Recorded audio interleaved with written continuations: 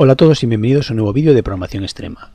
Continuando con la instalación de Gazebo dentro de Windows y viendo los eh, recurrentes problemas de linkado con las librerías dinámicas que he estado teniendo, eh, pues he intentado hacer un par de vídeos. Un vídeo anterior para el tema de generar esa librería dinámica e intentar utilizarla. Un vídeo que veréis que mostraré posteriormente para el tema de eh, utilizar esas, de, esas librerías dinámicas en, Windows que serían DLLs, pero que también veremos cómo hacerlas o cómo utilizarlas en otros sistemas operativos como el Linux, utilizando pues sistemas de tuberías para eh, escribir y leer dentro de las variables. En este vídeo de, hoy eh, os quiero mostrar cómo generar un error que ya os digo que es muy recurrente y es un error que se produce en el linkado y es el error que veis aquí en pantalla de error de linkado 2019 eh, que no encuentra un símbolo, de, un símbolo externo. Así que comencemos. Bueno, he partido del mismo desarrollo que habíamos hecho en el vídeo anterior de, de generación de DLL y para intentar abarcar el mayor número posible de situaciones me he instalado una versión del compilador más antigua, en este caso tenemos ya instalado en mi equipo eh, la versión de Visual C, la 12. Recuerda que estamos compilando la 14, que es la última versión que viene con el Visual Studio 2017, la versión Community. Me he instalado la versión 2013, que es la que incorpora la versión de Visual C, la, 12. Eh, lo he hecho así para intentar ver, porque muchas de las librerías que vienen con, a la hora de instalar Gazebo eh, son compiladas con la versión 12 y he intentado compilar la DLL para ver si ese error que se produce se produce realmente porque eh, son versiones incompatibles. Por tanto, en el fichero que veis aquí eh, es exactamente el mismo que, teníamos en la versión anterior, en la que si, vamos, si no recuerdo en el vídeo, porque como he hecho varios vídeos, hemos incluido también el protobuf para ver si se producía un error eh, a la hora de utilizar librerías externas. Si no está en el vídeo, eh, bueno, pues ya lo veis aquí, que lo que básicamente lo que he hecho es incluir eh, las dos carpetas donde se encuentran tanto los fuentes como las bueno, la base de o las lib de, del protobuf y del boost y a la hora de compilar lo que es la aplicación lo que he hecho es añadirle un nuevo eh, CC que es el de Gazebo Generator, que es el que nos había generado en el último vídeo de instalación de Gazebo. Nos habíamos quedado en este punto. Lo he instalado aquí para realmente ver si, el problema se producía ahí o no. Posiblemente por eso no lo tengáis en, el vídeo anterior. Bueno, disculparme si no, si no está. Igual lo vemos en el siguiente vídeo. Bueno, ya vemos cómo, cómo, genera, cómo creamos este vídeo y veremos si, si queda claro o no queda claro. Y lo que he hecho es, eh, a la hora de eh, realizar este ejecutable, le he linkado la librería, en este caso la librería compilada con, la versión 12. Esta librería compilada con la versión 12 eh, la, me la ha generado aquí. He hecho la misma, la misma generación que para la versión 10, que está aquí comentada, la misma, en compartido. La única historia es que le he cambiado el nombre para tenerlo, para tener tanto la librería compilada con la versión 14 y esta con la versión 12. Y también me he generado una versión, una librería estática con el mismo, con el mismo código que hay aquí. Aquí veis que tiene otro nombre, static, porque para compilarla en modo estático no podemos tener, si lo vemos en la librería normal, tenemos aquí definida la macro para decirle cuáles son los métodos y funciones que, que son portables. En este caso por si no está el vídeo, que no lo recuerdo ahora mismo, eh, tenemos dos librerías, dos clases, que así que estoy seguro que estaban en el vídeo anterior, y también hemos hecho una función, un método, ¿vale? una función porque devuelve un valor, hemos hecho un método que también está exportable y que se puede utilizar. Vale, esa es la única diferencia entre una librería dinámica y una librería estática, que en la librería dinámica tenemos que decirle cuáles son las librerías que están eh, exportadas que se pueden que se supone que están dentro de ese fichero externo, en esa DLL o en ese .so. y en la librería estática obviamente no tenemos que decir esa información. Y luego lo que es el ejecutable hace lo que teníamos en el otro, en el otro ejemplo, que sería comenzar, llamar a la clase 2 y hacer una invocación. También hemos hecho, eh, bueno, esto estaría en el siguiente vídeo, perdona que lo haya mezclado ahora, pero he creído más interesante eh, subir el vídeo este ahora que, el siguiente, porque el siguiente tiene más cosas. Entonces, en esta otra clase, la, mi clase 2, eh, mi clase 1, lo que hemos hecho es, eh, pues, mm, hemos redefinido la clase, mi clase 2 y mi clase 1, que simplemente la, hemos derivado, la hemos, hemos hecho una, hemos heredado de, de clase 2 una clase, la hemos derivado con dos métodos y además hemos implementado mi clase 1 de mi clase eh, si no recuerdo mal le hemos quitado aquí un método porque se lo hemos hecho al método invocar. Vale esto también está comentado en el siguiente vídeo que subiré pues estos días lo he querido hacer así ya os digo porque prefiero eh, poneros este vídeo antes eh, que el anterior. Vale, y este, y este, este código de aquí lo único que hace es invocar dos, lo que hace es eh, llamar a, al método cargar, que el método cargar es un método interno de la DLL que llama al método invocar de la clase quién que se pasa por referencia, que aquí nos viene un puntero, aquí le hacemos la indirección y la pasamos arriba. Vale, bueno, no os quedéis con, con esta parte. Eh, esto lo veréis, si queréis, en el siguiente, en el siguiente vídeo. Vamos, al final, resumiendo, tenemos un ejecutable que lo que hace es crea una clase 2 que está en la DLL, invoca al método de la clase 2, crea un, mi clase del método de la nueva librería que hemos hecho, de la nueva librería, la nueva clase que hemos hecho, que es, es un elemento heredado de una de las clases que está dentro de la DLL. Llamamos al método invocar de la clase 1 pasándole como referencia la clase 1, perdón, pasamos el método invocar, que es el método nuevo que hemos hecho dentro de de, esa clase. Se supone que esto está en la DLL y es un elemento que está exportado. Y luego además eh, llamamos a, creamos una variable generador, ¿vale? Con el código que vendría ya desarrollado dentro del protobuf de, de, protobuf. Este de aquí se supone que es eh, algo que viene ya dentro definido dentro de Gazebo, vamos, lo hemos incluido aquí. Llamamos al método plugin de, del propio protobuf y le pasamos ese generador que acabamos de desarrollar ahora. Todo esto lo hemos hecho para intentar ver si eh, conseguíamos producir el mismo error que se nos había quedado en el vídeo anterior, como os he vuelto a decir. Vale, pero bueno, esto no tiene nada que ver con el, con el vídeo de ahora.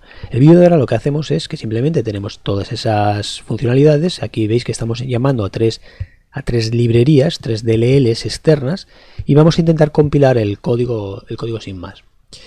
Bueno, la compilación, ya os digo que sería así, y ahora vamos a intentar simular uno de los problemas, uno de los primeros problemas que se pueden, que se pueden generar, que es compilar. Vamos a compilar con la versión. Aquí tenemos, yo tengo abierto dos versiones, una versión con la 2014, con, el, con la versión del compilador la 14 y aquí la 12.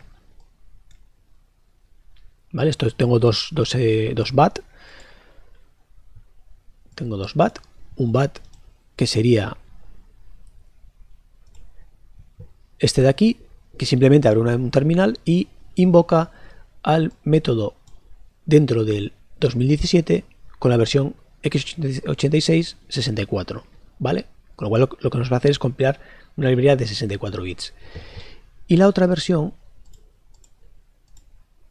el otro sería lo mismo, solo que esta vez se va al Visual Studio 2012, que estará con el Visual Studio el 2013, o sea, es el Visual Studio 12, que lo que hace es compilar en versión 12 de, nuestra librería.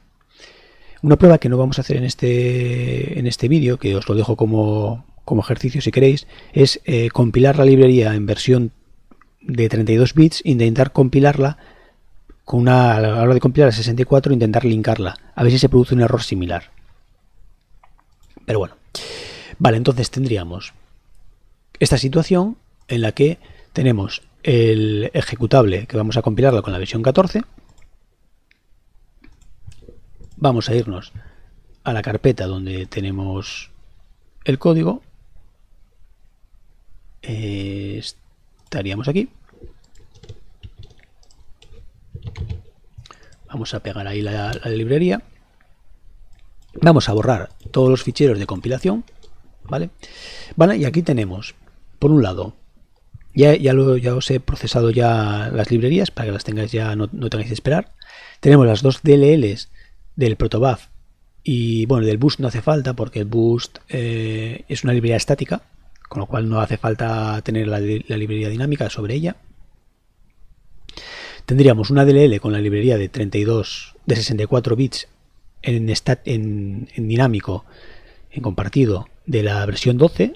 Tenemos su correspondiente librería lib, ¿vale? Tenemos la DLL y el lib, que es para linkado. Y tenemos misma, ese mismo código en estático. La diferencia es abismal. Aquí tenemos 64 K de librería porque está toda la funcionalidad. Sin embargo, aquí tendríamos pues una librería un poco más reducida. Bien. Y ahora vamos a intentar generar el, código. Hacemos lo de siempre, punto punto barra configure. Esto nos va a preparar toda la configuración, nos va a traer todo lo necesario, eh, va a intentar compilar esos tres códigos. Una vez que ya tenemos ya todo, todo definido, solo va a hacer una porque solamente tenemos este, este ejecutable. Ya os digo, en el siguiente vídeo veremos esta otra funcionalidad. Hacemos ahora el compilado y vamos a ver que está compilándolo con la versión 14, va a incluir una versión 12 y aún así el sistema lo va a hacer de forma, de forma correcta.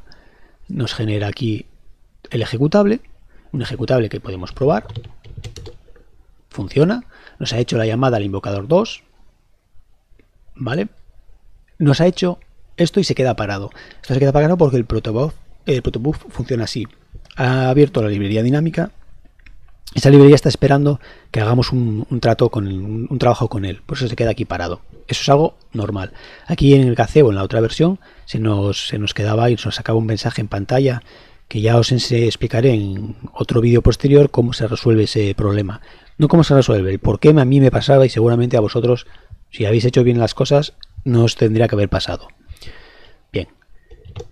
Con lo cual funciona. ¿Qué pasa si ahora nosotros eliminamos la DLL? Pues nos va a pasar lo mismo que, en el vídeo anterior. Nos saca un mensaje de que, de que algo, algo ha pasado. Con lo cual con esto nos aseguramos de que realmente está utilizando la librería dinámica. Bueno, ¿cómo vamos a intentar simular estos errores? Vale, por un lado hemos visto que eh, no importa las versiones. Esto quiere decir que yo puedo utilizar siempre versiones de librerías antiguas. Es algo lógico pensar esto porque eh, realmente la DLL tiene un comportamiento independiente, es, independiente de nuestro ejecutable. Es un elemento que se carga en memoria y funciona. Obviamente cuanto más, cuanto más eh, moderna sea la versión de la, DLL que, o del fichero compartido, puede ser SO, que, generemos, cuanto más moderno sea, más eficiente será y mejor funcionará nuestra aplicación. Esto es una de las ventajas de tener librerías compartidas, que yo tengo mi, mi ejecutable, eh, yo puedo eh, ir evolucionando las, librerías para que sean mucho más eficientes sin tener que cambiar mi ejecutable. ¿Vale? Esa es una de las ventajas de tener compartidas las librerías. Pero bueno, este es un problema. Bueno, el, primer es un problema. Esto es una situación, ¿vale? Compilar versiones diferentes de compilación. Funciona. Primera situación que se nos puede plantear. ¿Qué pasaría si yo, al intentar compilar la librería, al intentar compilar, perdón, el ejecutable, no encuentro esta librería? Imaginar que yo no que he puesto mal el nombre y no consigo encontrar la librería. Vamos a simular esto. Vamos a cambiarle el nombre, vamos a ponerle un guion bajo delante de este. Se supone que ahora este, esta librería no está en nuestro sistema porque es un fichero que no va a encontrar. Si yo ahora compilo, no sé si lo hará, sí. El mensaje que nos da es un mensaje mucho más, mucho más claro. Es un mensaje que está, vamos, no tiene ningún tipo de, de problema. Falta a la hora de compilar, es el linkado, es cuando falla, 1181, que no se puede abrir el fichero porque no se encuentra. Con lo cual, este error es un error muy sencillo de ver. Estoy intentando buscar esta librería y no la encuentro. ¿Cuáles son los problemas que podemos encontrar a la hora de, de tener esto? Pues bueno, en este caso yo aquí le estoy diciendo que la librería está aquí, pero yo le podría haber dicho aquí arriba cuáles son los directorios donde tiene que buscar las librerías y las fuentes y demás. ¿Vale? Esto es un problema que podéis tener. A la hora de hacer vuestros linkados, puede ser que las librerías lib no estén justo del sitio donde tú quieres. El sistema las va a buscar en diferentes carpetas. Por una, una sería eh, en la ruta donde está el, se está compilando todo, pero nosotros podemos añadirle más por aquí arriba. En este caso, por ejemplo, lo he hecho directamente, ¿vale? Eh, daos cuenta que esta, esta dirección no está aquí arriba directamente, no está. Vale, esto lo añadido así porque eh, dentro de mis, de mis eh, ejecutables, perdón, de, mis códigos, en el C, por ejemplo, yo aquí le estoy diciendo dónde está el, punto H que tiene que cargar. Y si os dais cuenta, simplemente estoy poniéndole con el angulito para decirle que no está en la ruta, sino que tiene que estar en una de las rutas eh, propias del compilador. Estoy diciendo que tiene que estar en Google, Protobuf, Compiler, eh, Plugin o Plugin. esto de aquí, ¿dónde está? Pues está a partir de esta dirección, porque es ahí donde yo lo he compilado. A partir de esta dirección estaría ya el Google y demás. Pero la librería, pues en este caso yo lo he preferido, podría haberle puesto aquí la dirección esta, que tenemos aquí y haber funcionado, pero he preferido ponerla así. Entonces uno de los primeros problemas que tenemos ahí es que no encuentra la, la librería. Vale, pero esto no es el problema. Esto funciona. Vale, ¿qué ocurre que este ya sí que es uno de los problemas. ¿Qué ocurre si la librería se nos ha olvidado cargarla? Imaginaros, yo tengo esto, estoy diciéndole que este libro, este fichero se compone de estos tres, este test va a cargar este DLL test, este DLL test sería este fichero de aquí, va a cargar esta definición, esta definición le está diciendo que este código es exportado. Bien. Y no hacemos nada más. El sistema, obviamente, va, a intentar compilar todo esto, va a compilarlo bien, porque no le falta nada. El problema lo vamos a tener a la hora de hacer el linkado. Vamos a probarlo para que veáis qué pasa cuando quitamos este, este punto lib. Si ahora hacemos un nmake, se nos produce aquí un error, que aquí ya sí que es el error que hemos visto antes. El error 2019, vamos a abrir el otro mensaje para que lo veáis, 2019, ¿vale? Símbolo externo, no encuentra este fichero, el símbolo externo que no está encontrado en este caso sería, en este caso sería testdll exports, ese es el fichero que no encuentra. En el punto H, este punto H, si os digo, estaría aquí, a la hora de compilarlo, el incluye ese, ese, ese export. Obviamente, como no está en modo debug, eh, lo llamará con un nombre, un nombre raro, no lo llamará directamente del tal, sino que dependiendo del sistema operativo lo llama de una manera o de otra. En este caso, pues lo ha llamado eh, class 2 test rate, vale. Y esto es el que no, lo que no puede, lo que no puede encontrar, ¿vale? Aquí ya vemos ya un problema. Un problema es que en nuestro eh, linkado, a la hora de linkar nuestros objetos, intenta enlazar con un fichero que no está, que no encuentra, que no existe, que sería el que incluye la funcionalidad, o no, la funcionalidad, sino las definiciones, que es el punto lib, las definiciones de las funciones. Y aquí es donde tenemos un primer problema. ¿Cómo se resuelve? Pues obviamente definiéndole el punto lib. En este caso va a encontrar el punto lib Y además vas a ver, vas a ver compilarlo. Este sería uno de los problemas que ya hemos visto cómo se resuelve. Claro, ¿cómo nos aseguramos que esto funciona? Pues tendríamos que mirar si en nuestro, eh, nuestro código, tanto en la definición de, del CMake como en el build, cuando, cuando eh, hace el punto configure, porque obviamente si yo aquí no hago cambios, el configure no, cambia, eh, en el propio configure, dentro de el CMake, cuando va a compilar, en este caso sería el testr, cuando va a compilar el testr, él genera aquí un montón de historias. En el eh, build o en el flags, en uno de estos dos, no, entonces en el build, aquí abajo le dice qué librerías tiene que enlazar. Y entre todas ellas, pues está esta pues nos tenemos que asegurar que realmente esta librería, que es la que se está enlazando, igual que está esta, ¿vale? Está en las otras dos, que sería el protocolo, el, el protobuffer, el, bueno, pues todas estas, más todas las que él, incluye de serie, que son el kernel, bueno, esto dependerá del sistema operativo, ¿vale? Hace unas cuantas y esas son las que hacen que funcione todo, todo el sistema.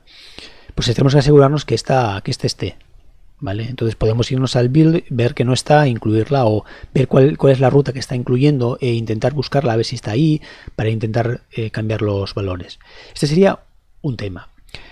Claro, esto es muy sencillo de ver que está ahí el problema. El problema no es este, ¿vale? Porque ver si la librería está o no está, pues es fácil, es acceder a las carpetas y ver si está o no está, o si es accesible o no es accesible. El problema lo he detectado cuando eh, la librería está compilada de forma incorrecta. ¿Y esto cómo es? Pues en este caso vamos a hacer otro ejemplo, que es un ejemplo un poco más complicado de ver, que es qué pasaría si yo compilo mi, librería en vez de en formato eh, compartido, en formato eh, dinámico, lo hago en formato estático, ¿vale? Lo hago para que el propio ejecutable incluya todo el código. ¿vale? No esté como una librería aparte. En este caso tengo esta librería que está eh, compilada. ¿Y qué pasaría si yo ahora en mi código le digo que la versión que tiene que compilar es esta? La librería que tiene que linkar es esta. Bueno, pues si probamos esto, no sé si esto funcionará o tendré que borrar la carpeta. Vale, pues funcionó. Se nos vuelve a generar el mismo error. Nos dice que error 2019, símbolo externo, no se puede resolver. Y aquí es donde ya tenemos un conflicto, un problema. Porque no sabemos exactamente cuál es el problema que nos está pasando con la librería. Bueno, lo podemos intuir a partir de este de hacer esta prueba hoy. Y es que ¿qué pasa si yo a la hora de compilar, porque yo ahora el build que tengo aquí el build que tengo aquí dentro de testr aquí sí que le estoy diciendo que la librería que me tiene que, incluir es esta. Y esta librería efectivamente está. Y sabemos que está porque eh, está porque no nos ha dado un error de que no está. Y además sabemos que es esta porque el error que nos está produciendo, ¿vale? Esto es otro tema que también es interesante ver, es que el error que se está produciendo es en la clase 2, ¿vale? Del eh, eh, del método virtual no, ha podido. Entonces, esto, claro, nos vamos al C, vemos cuál es el clase 2. El clase 2 está definido dentro de la DLL test. Dentro del DLL test vemos que el método clase 2, que es virtual, está dentro de esta exportación y esta exportación se supone que está dentro de un punto lib, ¿vale? Y ese punto lib aquí es donde tenemos que ir a mirar los códigos. Este punto lib se genera, esto tendría que estar obviamente sin comentar, está generado en el fichero lib tal. Bien. Y entonces aquí es donde vemos que el fichero se llama libtest.dll, o en este caso se llamaría libtestvc12, o si vemos, si vemos que está esta línea sin comentar, vemos que se llama teststaticv12lib. Vemos que está y no compila. En este caso es muy fácil ver que el problema está en que lo estamos compilando de modo estático. Eso, eso está claro, que está aquí. La cuestión no es cuando tenemos nuestro código y lo estamos compilando. La cuestión es cuando tenemos un código de otras personas, se nos produce este error y pues nos quedamos un poco con cara de tontos diciendo, ¿y ahora dónde está el problema? Porque vemos que es este método, podemos buscar en los, en los punto .h, vemos cuál es el, el código que genera, pero luego empezar a tirar del hilo.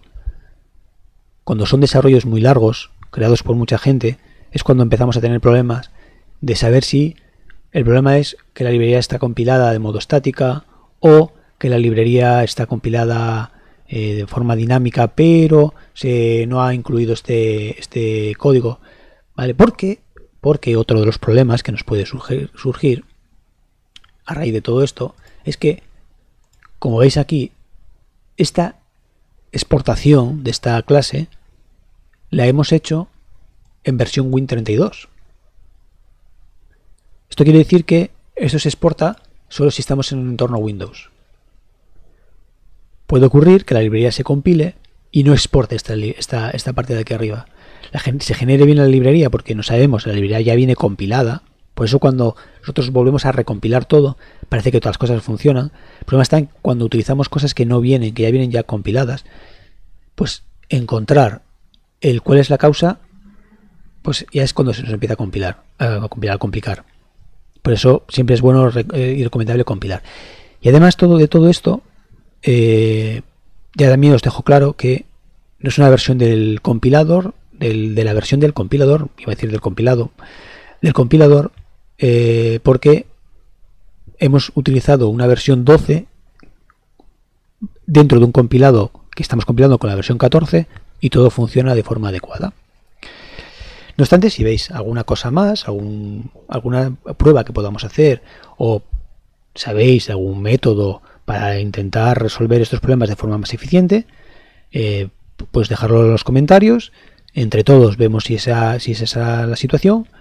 Yo puedo generar algún vídeo con el error para intentar ver cómo llegar a este error y cómo intentar solucionarlo. Así que nada, gracias por verme y nos vemos en el siguiente vídeo. Un saludo.